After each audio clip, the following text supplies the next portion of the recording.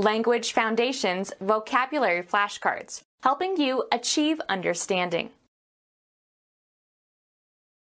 Astronomy. The angular distance of a celestial point measured westward along the celestial equator from the zenith crossing. The right ascension for an observer at a particular location and time of day. Astronomy. The angular distance of a celestial point measured westward along the celestial equator from the zenith crossing. The right ascension for an observer at a particular location and time of day. The angular distance along the celestial equator from the observer's meridian to the hour circle of a given celestial body. The angular separation between two objects as perceived by an observer. He recorded angular distances between the stars.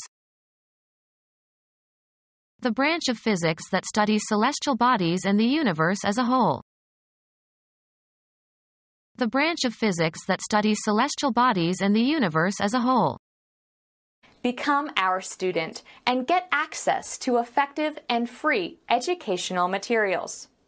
Subscribe to our YouTube channel to become a part of our growing YouTube community and to learn English effectively.